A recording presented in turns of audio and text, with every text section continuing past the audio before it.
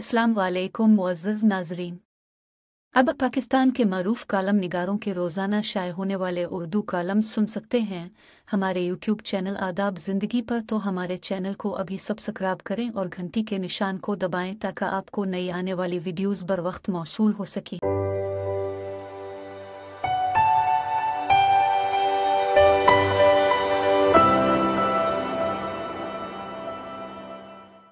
पाकिस्तान की मरूफ कालम निगार सायरा कनवल मोरखा दो मई 2023 को मजदूर का दिन के उनवान से शाये होने वाले उर्दू कालम में लिखती हैं, बचपन में जब भी मई की पहली तारीख आती हम सब स्कूल में बेहद खुशी मनाते कि छठी आ गए मजदूरों से कोई हमदर्दी थी और न ही इस दिन का कुछ पता था। थोड़े से बड़े हुए लेबर डे आया, नवी क्लास थी, मरहूम उस्ताद सर सईद ने उर्दू के पीरियड में इस मौजू पर लेक्चर दिया। मरहूम उस्ताद मरहुमा आसमा जहांगीर के खिलाफ थे, साथ ही उन्होंने इलियट क्लास को भी रगड़ा दिया जो होटलों में मजदूरों के लिए।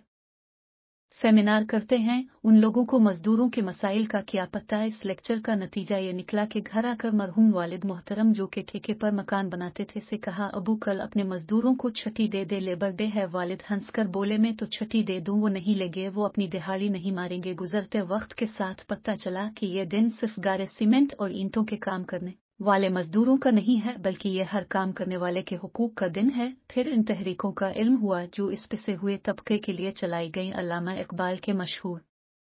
अशार पढ़े, लेकिन सबसे खूबसूरत वो हदीस पढ़ी जिसमें हमारे प्यारे नबी हज़रत मोहम्मद फरमाते हैं, इनके मजदूर का पसीना खुश्क होने से पहले इसकी मजदूरी अदा कर दो, अंदाज़ा करे अपने नबी का विजन कैसा था, जो उन्हें सरमायादाराना निज़ाम की ज्यादतियों के बारे में बता चुका था, इसीलिए उन्होंने इस बारे हुक्म दे दिया, एक हज़ार आठ सौ छियासी में शिकागो में मरने वाले मजदूरों की रूह। 2023 के आज के दिन तलक उठी, जब उन्होंने पाकिस्तान में इमरान खान को लाहौर की सड़कों पर बुलेट प्रूफ गाड़ी में मजदूरों के लिए जिदोजहद करते देखा वो इंसान जिसने सारी ज़िंदगी कोई काम नहीं किया जिसे मेहनत की कमाई के नोटों की खुशबू का नहीं पता, जिसने अपना पसीना जिम में या जलसों में बहाया, वो मजदूरों के हकूक के लिए अपनी बुलेट प्रूफ गाड़ी में निकला। आम आवाम पैदल इसके इर्द गिर्द चल रही थी, और वो कह रहा था, लगता है तुम लोग थक गए हो, कहीं मिलेगा। ऐसा अजीम इंसान ये चीज़ें सिर्फ़ पाकिस्तान में ही मिलती हैं, इसीलिए तो हमारी अशराफिया इतनी जिल्लत के बाद भी कुर्सी का पीछा नहीं छोड़ती, एक दिन सिर्फ़ एक दिन इमरान खान मजदूर के साथ गुजार ले, इसके घर को देख ले, इसका खाना खा ले मैं मान जाऊँगी कि यह वाकई लीडर है।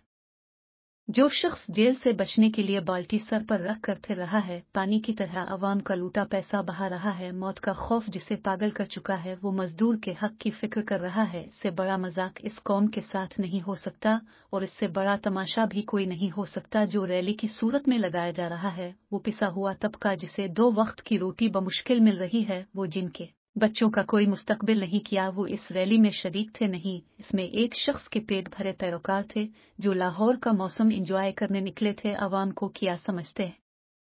अब लोग क्या उनके दिमाग बिल्कुल आपके दिलों की तरह खाली हैं? मेरी गुजारिश है कि खुदा के वास्ते ये ड्रामे बंद कर दे, बेशर्मी के ओले लिबादे उतार दे। अवाम को आपके इन तमाशों से कोई सरोकार नहीं करने वाले काम करे, ये ना हो मौत का पंजा आपकी गर्दन को पकड़ ले और अब खसारे लेकर इस दुनिया फानी से रुखसत हो जाए।